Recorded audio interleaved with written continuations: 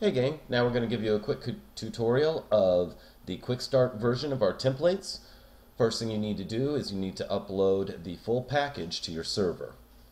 What you need to do is download the zip file called quick start, unzip that file and take the contents and upload it to your server via an FTP program.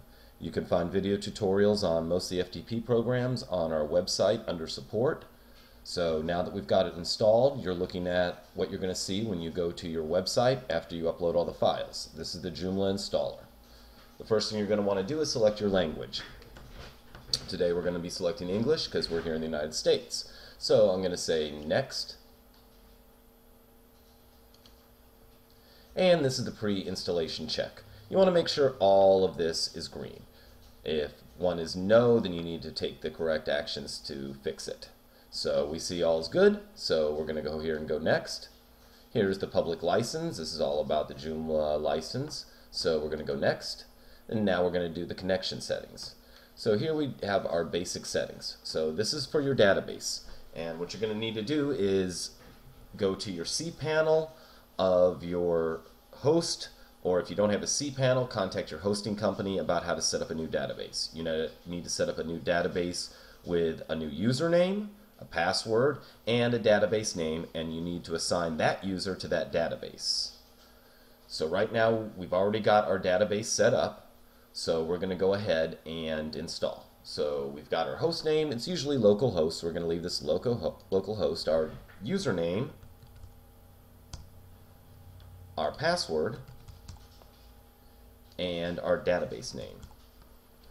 And since it's a brand new installation, uh, we don't really have to worry about the old database that's there. But just in case you're doing this over something, you want to back up the old database, uh, you can leave it backup or hit remove. I'm just going to leave it as default backup and go next.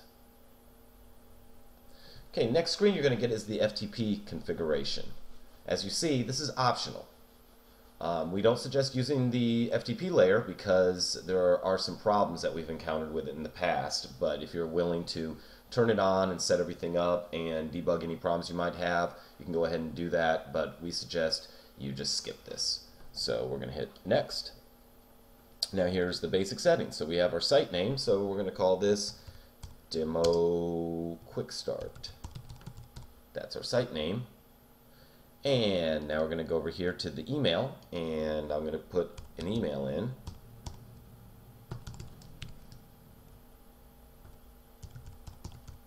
Now my admin is going to be admin and my admin password. Set that up and we're going to confirm the admin password. And now here's the imp very important part. We have the sample data. So we're going to install it in English and this is the sample data for the quick start version. So I press this button and all the sample data is installed. That includes all of the extensions and the content. So I'm going to go ahead and go next and now Joomla is installed. So you can either go into your website via FTP and rename your installation folder to maybe installation underscore backup if you're considering reinstalling. But if you just want to go ahead and remove that installation folder right away, you can just click remove installation folder. Okay, so now that the installation folder is removed, let's go over here to the site and see that we have responsive, fully installed, with all of the demo content.